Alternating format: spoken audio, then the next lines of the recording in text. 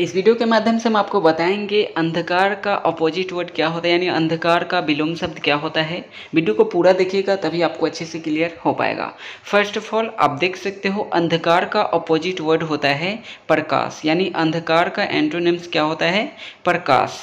तो I hope आपको ये अंधकार का आपका विलोम शब्द आपको क्लियर हो गया होगा। कमेंट सेक्शन में आपको बताना है अर्थ का विलोम शब्द क्या होता है? अर्थ का अपोजिट वर्ड क्या होता है? चैनल पर नया हो, चैनल को सब्सक्राइब कीजिए ऐसी डेली यूजेज इंग्लिश का वर्ड सीखने के लिए।